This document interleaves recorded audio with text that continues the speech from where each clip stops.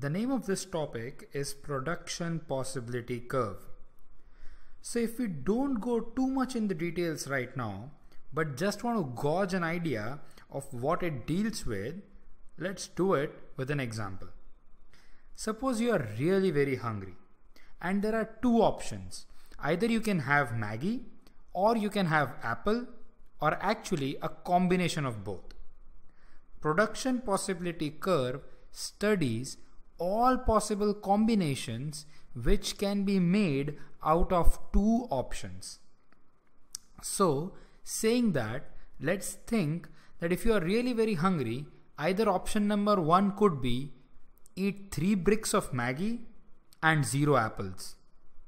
Or there can be another option that I can eat one apple and two bricks of Maggi and then can be you know then can then can another be third option that I can have three apples and one brick of Maggi. By all these options, I can satisfy my hunger. Right? So this is in short, you know, this is a short version of production possibility curve. Production possibility curve, actually I can break it down. Production possibilities and curve. So production possibilities is these different options 3 Maggi 0 apple, 2 Maggi 1 apple and 1 Maggi 3 apple. And when I put it down on a graph, then I can add the third word, production possibility curve. Now given a chance, you would like to have, you know, best of everything. Let's let's look at the example again. Given a chance, you would like to eat 3 bricks of Maggi and because you also love apple, you would like to eat 3 apples. But the point is, the maximum Maggi, that is 3 bricks of Maggi, and maximum apple, that is 3 apples, both are not a possibility. I cannot have 3 Maggis plus 3 apples because my stomach will like burst out. Right? So, I know given a chance, we would like the best of every alternatives. But because our stomach is the resource, is scarce, I cannot put beyond a certain limit of food in my stomach. I cannot have the best of the both circumstances. Right? So that's why I have to compromise something to get something. And this compromising something to get something is also called as opportunity cost. Likewise, we saw here that we if we had 3 bricks of Maggi, how many apples could we have? We could have 0 apples. But if we instead of three bricks, if we thought, okay, let's see two bricks, we compromised one brick of Maggi. But in, when we compromise that one brick of Maggi, what do we gain? We gain one apple, right? So this is where it comes. This is called the opportunity cost. The opportunity cost of one brick of Maggi is one apple. Now let's get into the depth of PPC. And to understand this, let's let's look at this graph. On the y-axis we have toasters, and on the x-axis we have toothbrushes. Now let's imagine for a moment that we have a shop and in our shop we sell toasters and we also sell toothbrushes.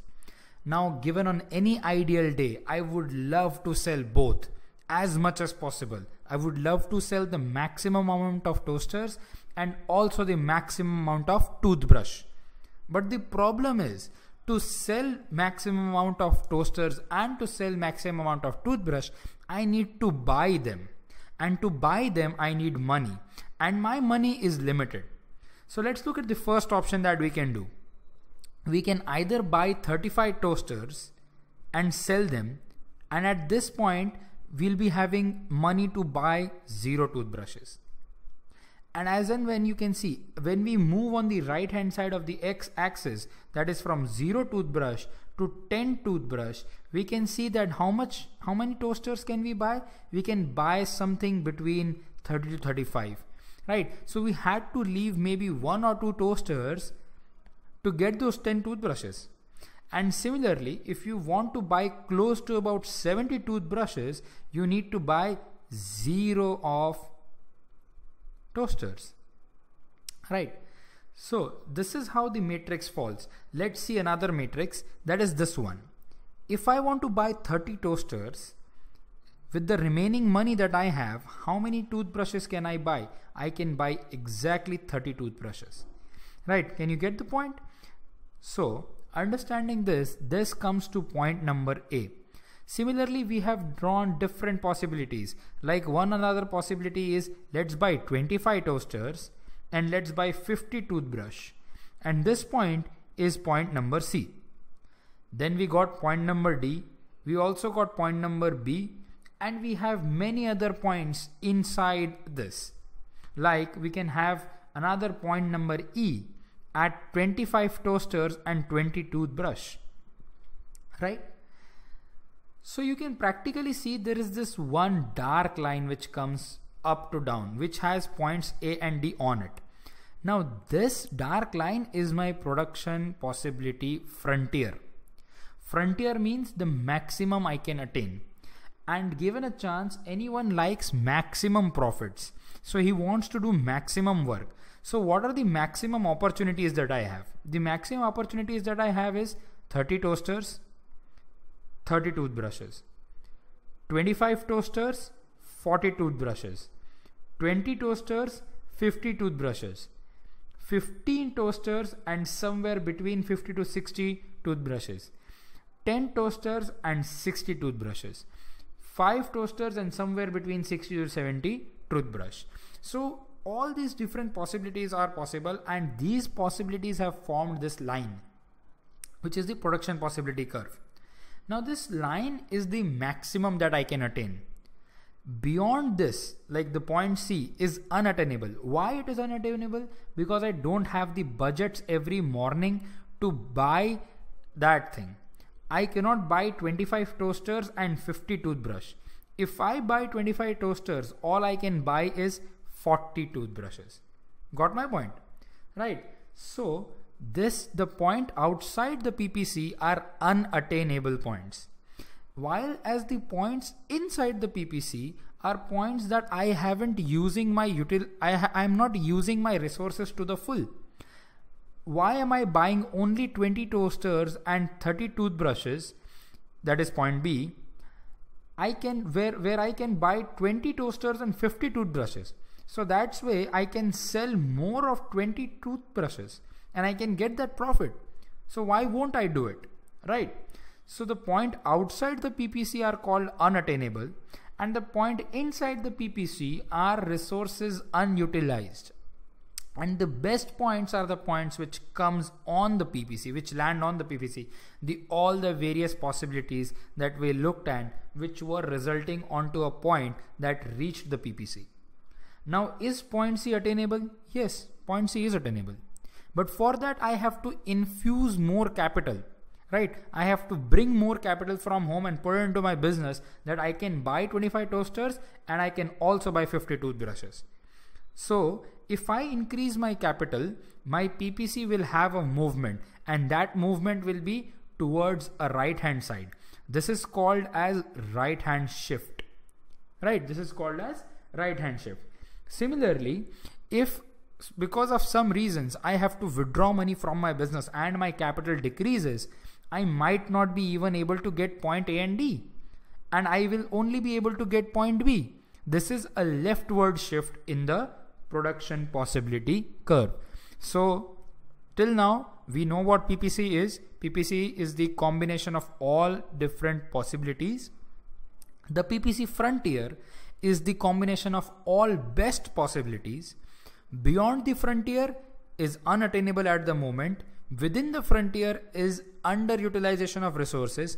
Can I go to beyond the frontier? Yes. Increase your resources and can I go beyond? Yes, if your resources are decreasing, you have to go within your PPC point. Clear? Now, so as my opportunity cost is not similar every time, like one toaster for one toothbrush or one toaster for five toothbrushes every time, that is the reason that my PPC is concave. Because my opportunity cost is not same. If my opportunity cost was same every time, the amount or, or my PPC would be a linear line. This is a very important element. Please um, understand it as this is asked in a lot of exam that when will PPC be linear? When the opportunity cost is same, then it will be linear. Now, PPC has many names and the names are production possibility frontier, production possibility boundary, transformation curve, transformation boundary and transformation frontier. Please memorize all these names as it is very important and they ask them a lot in MCQ. Also in the end, I would like you to know some assumptions on which PPC works.